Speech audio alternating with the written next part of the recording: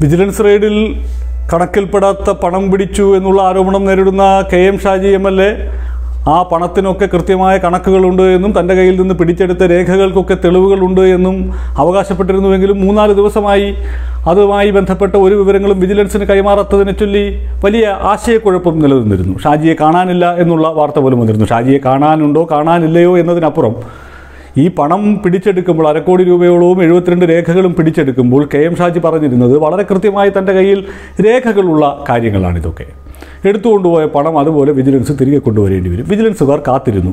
സ്വാഭാവികമാണ് ഒരു രാഷ്ട്രീയ നേതാവാണ് പ്രധാനപ്പെട്ട ഒരു ചെറുപ്പക്കാരൻ ആയിട്ടുള്ള ഒരാളാണ്. അതുകൊണ്ട് തന്നെ ഒരു ആർജവം അതിന്റെ ഭാഗമായി കാണിക്കും. ഞങ്ങൾ വിജിലൻസിനെ ഒരുപക്ഷെ ഈ കെ എം ഷാജി ഒരു പാഠം പഠിപ്പിച്ചേക്കും എന്നുള്ള ആശങ്ക അവർക്കും ഉണ്ടായിരുന്നു അതുകൊണ്ടാണ് ഈ റെയ്ഡ് നടന്നതിന് തൊട്ട് പിന്നാലെ അവർ കോടതിയിലേക്ക് പോവുകയോ ഈ റെയ്ഡ് റിപ്പോർട്ട് നൽകുകയോ ചെയ്യാതിരുന്നു ഒരു ദിവസം താമസിച്ചിട്ടാണ് ആ നടപടികളിലേക്ക് വിജിലൻസ് കടന്നത്. കാരണം ഷാജി ആ രേഖകൾ കൊണ്ടുവരികയാണെങ്കിൽ അത് തിരികെ കൊടുക്കേണ്ടത് തന്നെയാണ്. അഴീക്കോട്ടെ വീട്ടിൽ നിന്ന് പണം പിടിച്ചെടുത്തപ്പോഴും സ്വർണം പിടിച്ചെടുത്തപ്പോഴും വിദേശ കറൻസി പിടിച്ചെടുത്തപ്പോഴും ഒക്കെ ഷാജി പറഞ്ഞ ന്യായങ്ങൾ അംഗീകരിച്ച് അത് രജിസ്റ്ററിൽ രേഖപ്പെടുത്തിയിട്ട് അത് മുഴുവൻ തിരിച്ചേൽപ്പിച്ചു. അഴീക്കോട്ടെ വീട്ടിൽ നിന്ന് ഈ ക്ലോസറ്റിൽ നിന്നും മാറാല പിടിച്ചു കിടന്ന പണവും പഴയ ടി വിയുടെ അകത്തിരുന്ന പണവും ഒക്കെയാണല്ലോ വിജിലൻസ് എടുത്തുകൊണ്ട് പോയത്. അപ്പോൾ ആ പണത്തിന് രേഖകളുണ്ടെങ്കിൽ അവർ തിരിച്ചു കൊടുക്കാമെന്ന് പറഞ്ഞ് കാത്തിരുന്നതാണ്. അത് നൽകാതെ വന്നപ്പോഴാണ് മൂന്നാം ദിവസം പിന്നിട്ടപ്പോൾ കോടതിയിൽ റിപ്പോർട്ട് നൽകേണ്ടി വരുന്നത്. ഇങ്ങനെ മാറാല പിടിച്ച പണമാണ് കണ്ടത് എന്ന് പറയുന്നത്. അപ്പോൾ അടുത്ത ബന്ധു കഴിഞ്ഞ ദിവസങ്ങളിൽ കൊണ്ടുവച്ച പണമാണെങ്കിൽ അതല്ലെങ്കിൽ തെരഞ്ഞെടുപ്പ് ആവശ്യത്തിന് കൊണ്ടുവച്ച പണമാണെങ്കിൽ മാറാല പിടിച്ചിരിക്കുന്നത് എങ്ങനെ? എന്നുള്ള ന്യായമായ ചോദ്യം പൊതുസമൂഹത്തിൽ നിന്ന് ഉയരുകയും ചെയ്യും. അവിടെ ഷാജി ചെയ്യേണ്ടിയിരുന്ന ഒരു കാര്യം വീണ്ടും പറയുന്നു ഷാജി ഒളിവിൽ പോയോ? ഷാജി ഒളിവിൽ പോവാതെ ഇരുന്നോ? അല്ലെങ്കിൽ ഷാജി വീട്ടിൽ ചായ കുടിച്ചുകൊണ്ടിരുന്നോ? ചായ കുടിക്കാതെ ഇരുന്നോ എന്നുള്ളതല്ല ഇവിടുത്തെ പ്രശ്നം. ഷാജിയുടെ കണക്ക് പുസ്തകം തെറ്റിപ്പോയത് എവിടെയാണ് എന്നുള്ളതാണ്. ആദ്യ ദിവസം ഈ റെയ്ഡ് നടന്നപ്പോൾ തന്നെ പറഞ്ഞത് എന്റെ കയ്യിലെല്ലാം ഉണ്ട് രേഖകൾ എന്നുള്ളതാണ്. അതൊന്ന് സാ ഹാജരാക്കാനുള്ള സാവകാശം. കാരണം രണ്ട് വീടുകളിൽ ഒരേ സമയം റെയ്ഡ് നടന്നതാണ്. അതിന്റെ ഒരു അങ്കലപ്പ് സ്വാഭാവികമായി ഉണ്ടാകും. അതിനെ മറികടക്കാൻ ഇതുപോലുള്ള ഗിമിക്ക് ഡയലോഗുകൾ കൊണ്ട് ഷാജി ആളുകളെ പറ്റിക്കുകയാണ് എന്ന് അപ്പോഴും കരുതിയിരുന്നില്ല. വിജിലൻസ് പോലും കരുതിയിരുന്നില്ല. അതാണ് ഏറ്റവും രസകരമായ കാര്യം.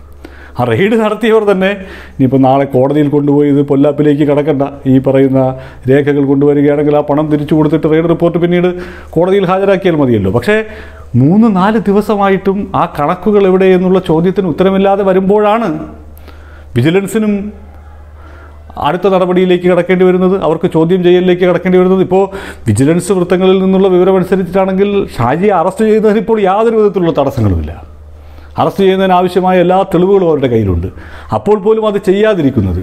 ഈ പറയുന്ന പോലെ അരക്കോടി രൂപയ്ക്ക് കൃത്യമായ തെളിവ് നൽകാൻ ഷാജിക്ക് സാധിക്കുകയാണെങ്കിൽ ഈ സാമ്പത്തിക ഇടപാടുകൾക്ക് മറ്റ് സാമ്പത്തിക ഇടപാടുകൾക്കും വസ്തു ഇടപാടുകൾക്കുമുള്ള രേഖകളൊക്കെ കൃത്യമായി ഹാജരാക്കാൻ കഴിയുകയാണെങ്കിൽ അങ്ങനെ ഒരാളെ ബോധപൂർവം പീഡിപ്പിക്കുകയാണ് എന്നുള്ള ഒരു ഛായ ഉണ്ടാകരുത് എന്നുള്ളത് കൊണ്ടാണ്. അതിനാലാണ് എല്ലാ കാര്യങ്ങളും സഹിതം വളരെ കൃത്യമായി കോടതിയിൽ റിപ്പോർട്ട് നൽകുകയും ആ പണമടക്കം അവിടെ കോടതിയിൽ കെട്ടിവെക്കുന്ന ഒരു സാഹചര്യവും ഉണ്ടായത്.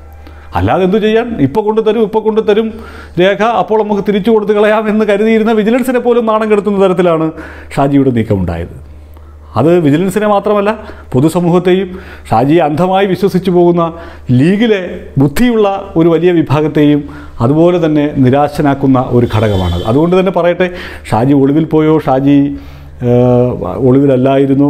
ഷാജി ധീരനായി നിൽക്കുന്നു. ഷാജി പോരാട്ടം നയിക്കുന്നു എന്നുള്ളതൊന്നുമല്ല പ്രശ്നം.